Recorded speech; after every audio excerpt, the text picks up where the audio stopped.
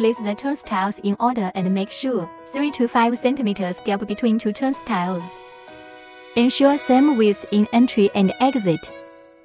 Mark on the ground along the edge of the chassis.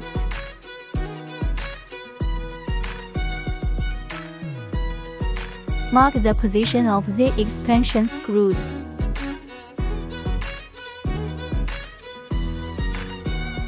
Cut along the trench line with a cutting machine. Drill holes with an M-SHA hammer drill. Hammer the expansion screws. Put into the PVC tubes.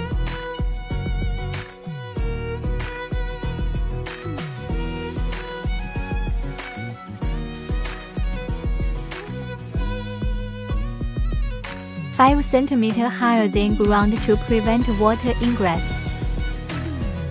Put the connection cable and power cable through PVC cable separately. Tighten the screw to fix the turnstiles. Plug in the sockets to controller according to the user manual, including connection cables between two sides and connect the AC power cable to air switch.